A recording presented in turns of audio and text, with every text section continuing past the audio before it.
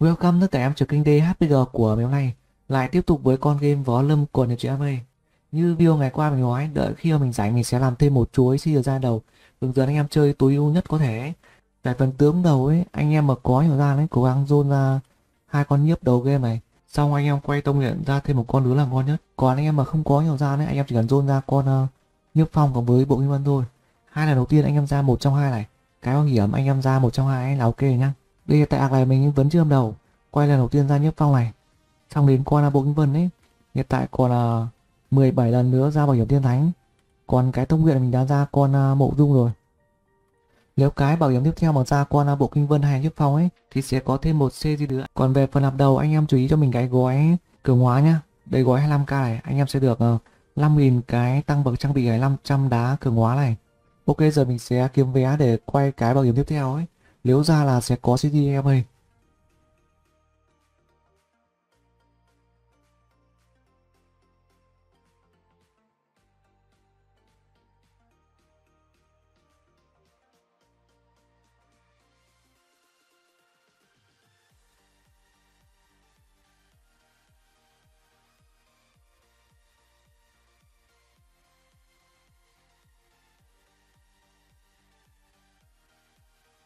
Ok lại tiếp tục với chuối CDC mới. Ngày hôm nay thì anh em nông dân chú ý cho mình mấy cái cơ bản sau đây. Về phần tưới ngon nhất em cố gắng dồn ra hai ba con nhất phong để em chơi tiếp. Về con tướng tiên đánh số 2 ấy, thì em chú ý cho mình bốn con. Thứ nhất là con à, uh, bộ kim vân này Thứ hai là con uh, giải xuân thu Thứ ba là con uh, đàn ma tổ sư Và cuối cùng ấy là con uh, lạc anh sơn. Ở đầu game anh em muốn tối ưu chiến nhất thì anh em chơi con uh, bộ kim vân. Tại vì về sau sẽ có cái úp kinh mạch ấy mở kinh mạch đấy nó sẽ út theo hệ. Anh em mà chơi một hai hệ về sau anh em lưng dồn ấy thì lực chiến nó sẽ tối ưu hơn rất là nhiều. Còn anh em mà chia ra 4 đến 5 hệ thì có những em ờ, thoạt về cái kinh mạch đấy. Còn về con uh, giải thông thu cộng với con đạt ma ấy hai con này cũng khá khỏe nhưng mà lúc đầu game em chơi nó hơi bị tù về cái kinh mạch ấy. Nên để túi nhất anh em cứ chơi như mình ấy. Em chơi con nhiếp phong cộng với con uh, bộ kinh vân. Còn anh em tốt thì chú ý cho mình con uh, lạc thanh sơn.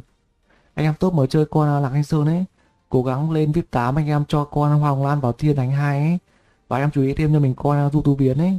Còn về anh em nông dân có chơi được team à, tâm không ấy cái mình thấy cũng được, nhưng mà lúc đầu game anh em khá thọt đấy. Anh em nông dân cố gắng ngày một anh em kiếm hai, ba con đằng anh sơn ấy sau em nuôi thêm con à, du tu biến là ok nhá. Tiếp đến là về phần quay tướng ấy. Lúc đầu game anh em mà muốn run nhanh chắc phải bỏ ra tầm hai lần quay tướng bằng kim bảo còn về sau ấy ngày 23 nếu mà dư nhiều vé quá thì anh em có thể quay tầm hai lần bảo hiểm thiên thánh. Nhưng mà về sau ít vé thì một ngày anh em chỉ cần quay một lần là bảo hiểm thiên thánh thôi. Nếu mà ra con uh, tướng cần mình ngon không ra anh cứ bỏ qua nhá. Đợi ngày hôm sau mình quay. Tiếp đến là về phần tiệm ấy. Đầu tiên là cái tiệm chợ này anh em cứ mua mắc hết cho mình nhá. Còn về phần di chép bao nhiêu anh em cứ di chép mắc xu mình nhá. Đến khi nào hết du rồi thì thôi.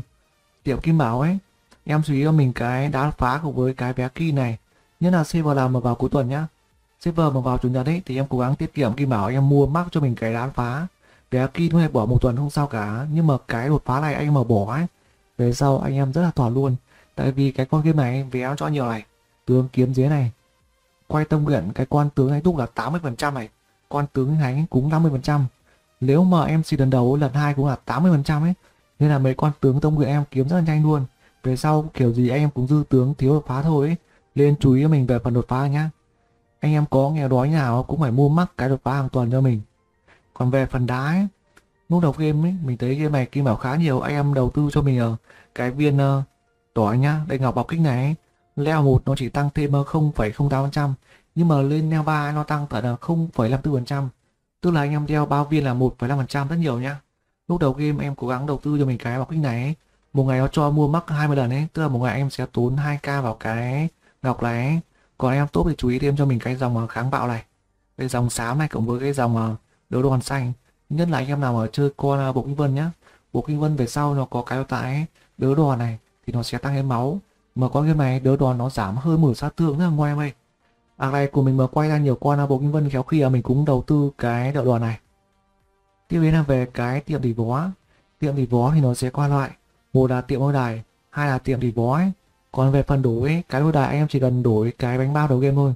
Dư điểm anh em đổi cái tiệm thì bó còn về tiệm này anh em đổi cho mình mắc ngọc này. Xong ngọc rồi anh em đổi cái đá đột phá thông sư.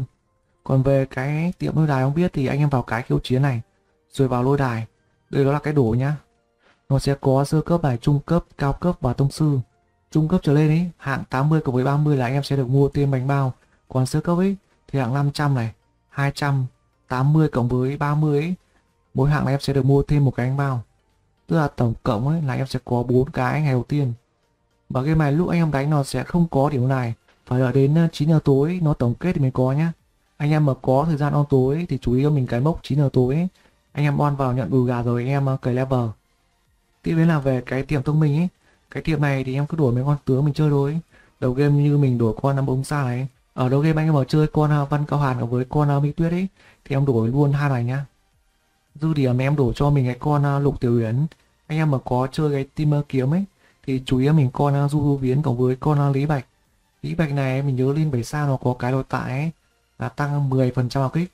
Mời con lạc thanh sơn ấy tim mình mà bảo kích thì nó sẽ tăng em lộ. Anh em chú ý nhá. Nếu mà em thiết kế nhé được con lý bạch vào ấy, thì khá là ngon đấy. Tiếp đến là về cái tiệm võ hồn ấy. Cái tiệm này anh em cứ đổi mắc xui mình. Tiệm nam vàng đổi mắc đột phá này ok xong phần tiệm nhá. Tiếp đến anh em chú ý cho mình về phần à, đánh bốt. Anh em đánh bốt ấy vào bảng xếp hạng cũng được thêm đá nhá. Bình thường anh em khiêu chiến là sẽ được uh, hai viên ngẫu nhiên này. Và khi anh em vào bảng xếp hạng ấy thì cũng được thưởng nhá. Top 1 7 viên này top 2 5 viên top 3 4 viên top 4 đến top 13 viên ấy. Các anh em chú ý nhá. Ở giai đầu ấy anh em sẽ giết bốt rất là nhiều ấy anh em ở yếu ấy thì cố gắng nhá mua con bốt anh em đánh một phát để mình kiếm cái top 4 đến top 10 nhá tính ra cái top 1 với top 4 nó chênh nhiều em ơi à, quên top 1 này 7 cục này top 4 đến top 10 ấy, 3 cục. Tức là nó chỉ chênh có 4 cục thôi. Anh em làm hai cái top 10 ấy là cũng gần bằng cái top 1 rồi ấy. Lên ngày đầu game anh em nông dân không cần ham một top 3 top 2 đâu. Anh em cứ cố vào top 10 ấy, đánh nhiều con bốt là được nha.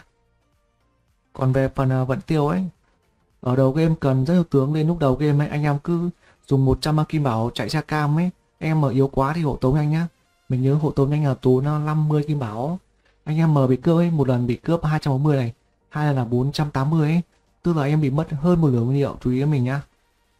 Tiếp anh em chú ý cho mình cái tiệm uh, Vân Du ấy cộng với cái trả lời câu hỏi ấy. ở cái si này có câu hỏi nào là mình sẽ lưu hết vào trong các video nhá.